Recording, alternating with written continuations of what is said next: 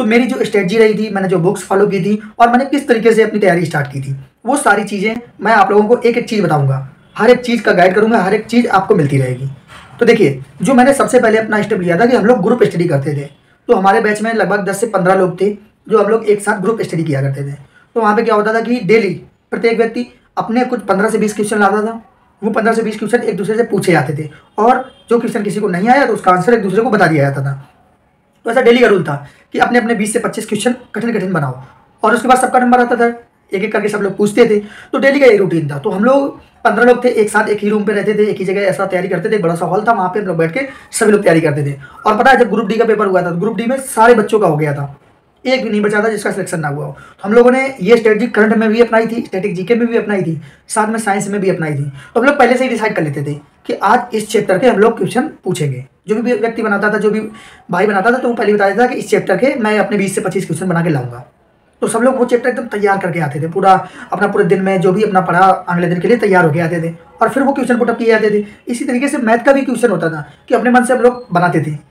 अपने मन से बनाते थे और वो पूछते थे, उसका टेस्ट भी लेते थे। और बिल्कुल लिमिटेड टाइम एक क्वेश्चन के लिए एक मिनट यही प्रोसेस करते थे हम लोग। और डेली का रूल था। और ऐसा नहीं था कि बस एक दिन कर लिया या दो दिन कर लिया, नहीं। मतलब पूरे दिन पढ़ो और दो तीन घंटे। हम लोग एक दूसरे का ऐसे ही टेस्ट लेते थे। तो ये मोक्ष से भी बढ़ के हो जाता है। क्योंकि जब कोई व्यक्ति बनाएगा क्वेश्चन तो वो टफ बनाएगा, अच्छे से बनाएगा। और किसी भी क्वेश्चन में आप अगर अटक जाते हो, अगली बार जब आप पढ़ोगे ना, वो तो याद करोगे ही करोगे। उसके साथ साथ रिलेटेड जो भी और चार से क्वेश्चन होंगे, वो भी आप तैयार करोगे।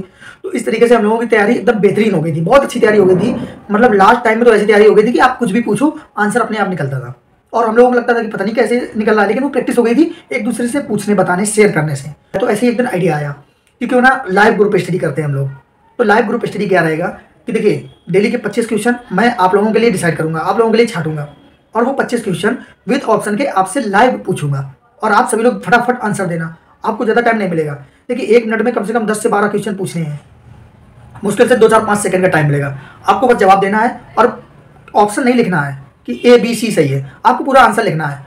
तो जितना आप तेज फटाक से आंसर देंगे, उतना ज़्यादा अच्छा रहेगा। आप बोलेंगे तो पाँच सेकंड के बजाय दस सेकंड दे दूँगा। पाँच मिनट में बीस से पच्चीस क्वेश्चन हो जाएँगे। वीडियो भी ज़्यादा लंबा नहीं हुआ और आपका टेस्ट भी हो गया। पाँच मिनट में डेली बीस से पच्चीस क्वेश्चन फिर जैसा आप लोग आगे चाहेंगे तो नंबर ऑफ़ क्वेश्चन और भी बढ़ा दूँगा। तो ऐसे अगर एक दिन में आपने तीस क्वेश्चन भी तैयार किए तो महीने के कम से कम 900 क्वेश्चन या हज़ार के आसपास क्वेश्चन पहुँचते हैं। फिर जैसे जैसे आप लोग तैयारी करोगे प्रैक्टिस होती जाएगी तो मैं और भी क्वेश्चन की संख्या बढ़ाता रहूँगा। तो ऐसे अगर एक महीने में आपने हज़ार क्वेश्चन भी तैयार कर लिए या रिवीजन भी किसी को करना हुआ तो वो क्या पाँच मिनट का वीडियो देख लेगा? थोड़ा सा स्पीड बढ़ा के देख लेगा ढाई तीन मिनट में दिख जाएगा। तो उस बाद में देखने वाले बच्चों को भी फ़ायदा होगा और आपका भी फ़ायदा होगा। ये लाइव टेस्ट हुआ करेगा। तो ज़रूरी नहीं है कि आपने अगर पढ़ लिया हो, तभी आप लाइव टेस्ट दें। नहीं, आप ऐसी भी लाइव टेस्ट दे सकते हैं। वो चीज़ें आपको नॉलेज होंगी कि हाँ ऐसा भी क्वेश्चन बन सकता है। तो आपको पढ़ने में, तैयारी करने में और ज़्यादा मन लगेगा। तो सबसे पहले मैं साइंस से स्टार्ट करूँगा। साइंस को मैं पहले ही आपको बता दूँगा कि आज इस चैप्टर के मैं क्वेश्चन पूछने वाला हूँ तो आप सभी लोग समय से लाइव आ जाना। तो कितने टाइम लाइव आऊँगा, ये मैं आपको अगले, आने वाले वीडियो में बता दूँगा, पूरी स्ट्रेटजी आप लोगों को शेयर कर दूँगा कि इस तरीके से ये प्रोसेस रहेगा। तो आप सभी लोग, जितने भी लोको पायलट आर जेई टेक्नीशियन जहाँ पे भी साइंस पूछी जानी है, कोई भी एग्ज़ाम हो, आप लोग रेडी रहना। और पता है कि जो मेरे पास, मैंने जो अपना कंटेंट तैयार किया था, जब मेरा सिलेक्शन हुआ था तो हम लोगों ने, अब जो क्वेश्चन हम लोग लिखते थे तो वो फिर थोड़ी देते थे। तो अभी भी पूरे अच्छे से लिखे हुए रखे हैं। तो एक चैप्टर अगर फिजिक्स का जो पहला चैप्टर है यूनिट वाला, उससे देखा जाए तो कम से कम पाँच सौ सौ क्वेश्चन बने थे।